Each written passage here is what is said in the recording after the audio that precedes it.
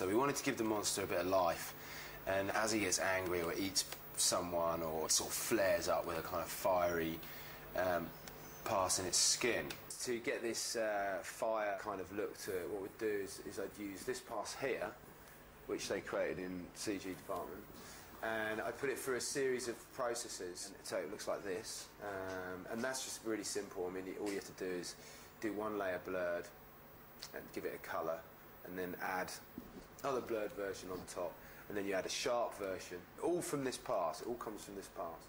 And you keep adding to it, and then you give it a certain level, and then you add it on top of the creature itself.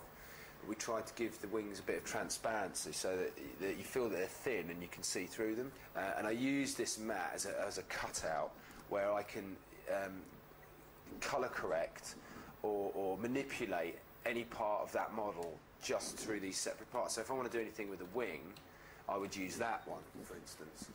See here you can see the church through the wing. So I use that wing matte to sort of bring it through, and then when you see it in the actual finished comp,